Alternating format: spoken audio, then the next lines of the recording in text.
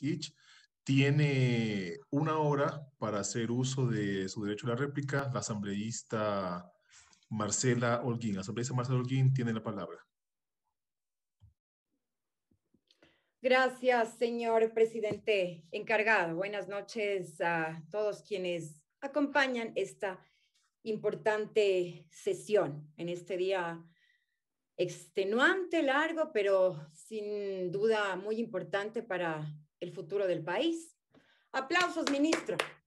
Usted dice que se han creado más empleos en el país. Pregúntele a la gente que muere de hambre todos los días en la calle y que no tiene trabajo, si es que lo que usted dice es verdad. Quiero aclararle, señor ministro, que usted sabe que es el Pleno de la Asamblea Nacional quien resolvió dar paso a esta interpelación y dar paso a este proceso de juicio político. No he sido yo, ha sido el Pleno de la Asamblea Nacional y sus miembros. No entiendo por qué la agresividad, señor ministro. En todo caso, quiero recordarle que el artículo 84 de la Ley Orgánica de la Función Legislativa, en su segundo inciso, establece claramente que la funcionaria o funcionario enjuiciado políticamente presentará sus alegatos de defensa ante el Pleno de la Asamblea Nacional, algo que usted no lo ha hecho. no se ha cansado de mencionarme durante su alocución. Es el Pleno el que decide, señor ministro, no soy yo.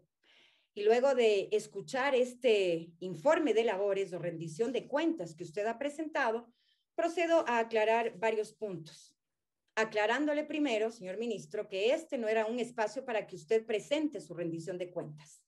Este es un espacio en donde se lo está interpelando por abrogarse funciones que no le corresponden, de acuerdo a la Constitución y las leyes. Procedo con ciertas precisiones, señor presidente y señores y señoras asambleístas. El ministro habla de tres objetivos, más empleo, más recursos y más transparencia. Pero es evidente que no se ha generado durante su gobierno más empleo. Ni siquiera se cumplen los bonos de desempleo y le costaron entre 18 y 25 millones de dólares al Instituto Ecuatoriano de Seguridad Social. Y sobre la transparencia y participación, nunca, ministro, se reunieron con los trabajadores ni empleadores para la realización de la nueva fórmula del salario básico unificado. Las liquidaciones de miseria, señor ministro, no son electoralmente rentables. Y no me voy a permitir caer en su juego. Este es un juicio político y nada tiene que ver con el tema electoral. Es más, hoy no existe proceso electoral alguno.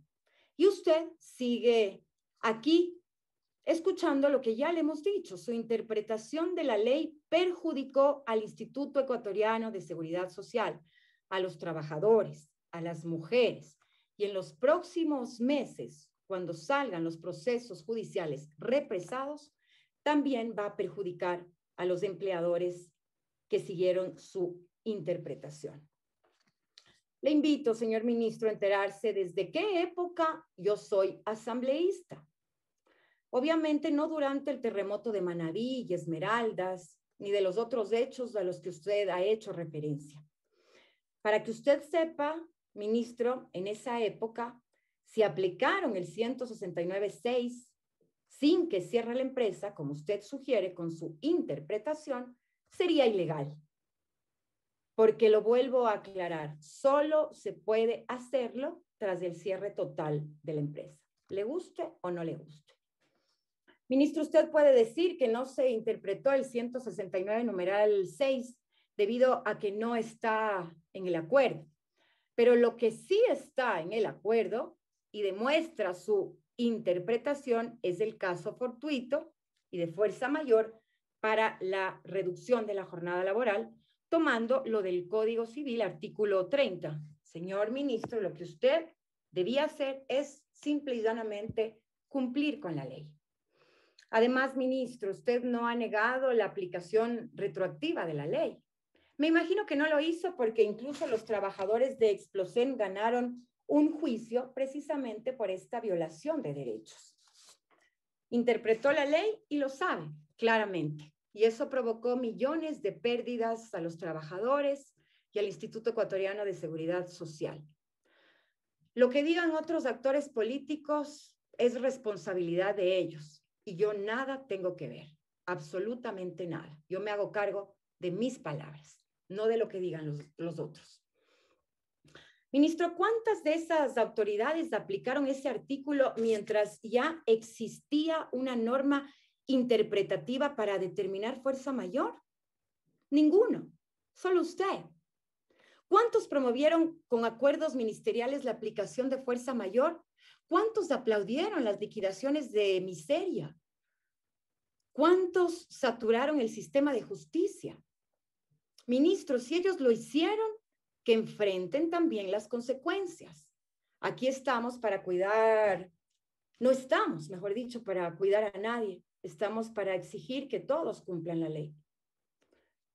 Usted habló de que se utilizó ejemplos previos uh, a su ingreso al ministerio, pero ministro, el ejemplo que yo he utilizado en mi alocución era de marzo de este año. Y aquí se lo demuestro. Esta es la nota de Diario El Universo del 16 de marzo de 2021, Diario El Universo, cuyo titular expresa, despedidos por fuerza mayor en la pandemia a la espera de sus liquidaciones. Este es el ejemplo que yo utilicé. Insisto, 16 de marzo de 2021, Diario El Universo. Si la situación laboral no está bien, y eso evidentemente todo el mundo lo sabe, sobre todo aquellas personas que mueren de hambre en las calles y aquellos que no tienen trabajo, que se cuentan por miles. Aproximadamente 85 mil personas perdieron su empleo adecuado solo en febrero de este año. Yo sé que parecía que no había ministro de trabajo, sí, lo sé, pero en papeles usted era el ministro y lo sigue siendo. Ministro, usted dice que todo está bien, las políticas de este gobierno son responsables de que dos millones de ecuatorianos en febrero estén en el subempleo, muchos ganando menos de 400 dólares mensuales. Yo le pregunto, ¿usted acaso puede vivir con 400 dólares mensuales? Ministro, sobre el salario básico unificado, la Constitución le demanda el criterio de progresividad. La Constitución, no yo, la Constitución y usted incumplió el mandato de la ley. Y no solo eso, ministro, usted ya impuso una nueva metodología para el cálculo de ese salario básico unificado. Señor ministro, en cuanto al observatorio, este entregó el acta constitutiva el 26 de noviembre de 2020 a las 8 horas con 23 minutos de la mañana, un día después de la reunión del 25 de noviembre de 2020. Luego les volvió a entregar la información el 2 de diciembre de 2020 a las 10 horas con 18 minutos. Y lo que se olvida, el 4 de diciembre había acordado una reunión que no se dio y se canceló una reunión el 17, el 22 y el 24 de diciembre. Tuvieron que enterarse del juicio político para que cinco meses después entregue la información que le habían solicitado. No exigimos que entregue lo que la ley le impide, señor ministro, por supuesto que no. Exigimos que entregue la información que sí podía entregar y que lo hicieron luego del anuncio de juicio político, tardándose cinco meses.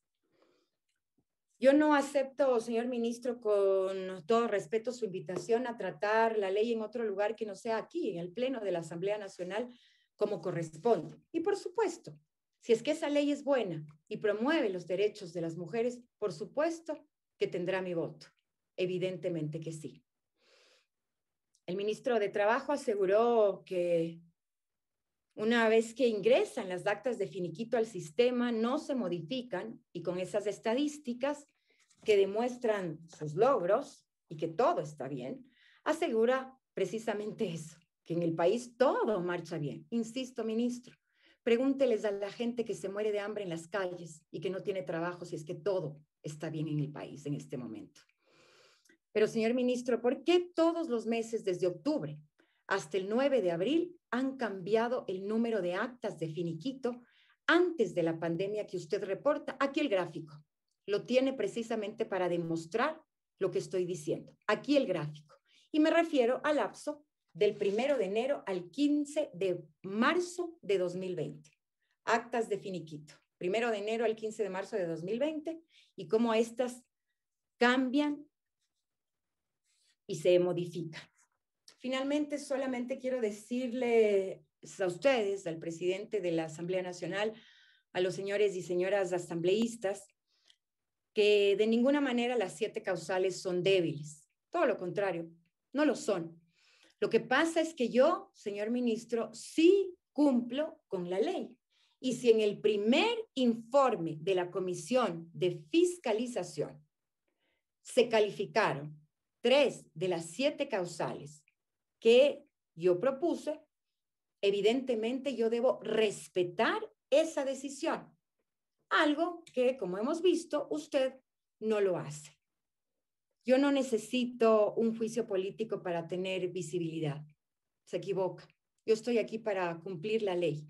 Y ese es lo que demanda la Constitución y las leyes. Esa es mi atribución.